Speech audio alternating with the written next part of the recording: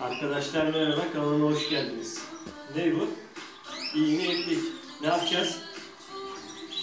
Kanaryamız dişi mi erkek mi onu öğreneceğiz. Şimdi maalesef kanaryalar dişi erkek konusunda bazı sıkıntı yaşıyor üreticiler. Diyorlar ki kanaryalar öterse erkek, yumurtlarsa dişi. Doğru mu? Doğru. Bir yöntem daha varmış. Bu ipi tutuyorlar iğneyi. İğne ileri geri oynarsa erkek çıkıyormuş. Böyle yuvarlak çizerse dişi çıkıyormuş. Tecrübelerimize dayanarak bir tane erkek alalım buradan.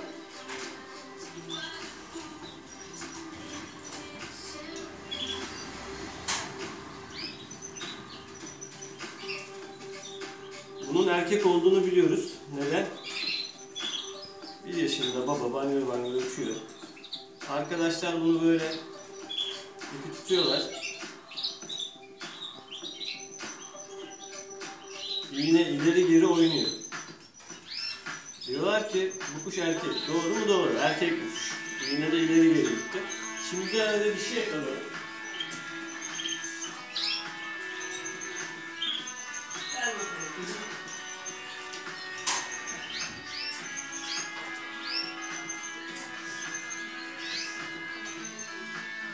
Bu da yumurtlayan bir dişi.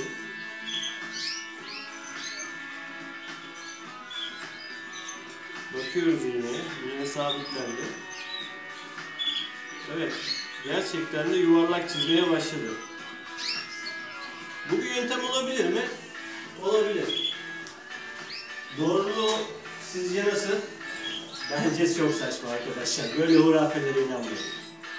Şimdi size bir anımı anlatayım. Çok sevdiğim bir abimiz geldi. Benden kuş istedi. Dedim yani dişi arıyor.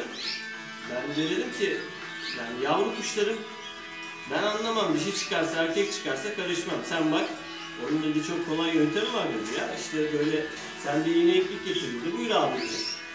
Baktı bu dişi, bu erkek, bu dişi, bu erkek.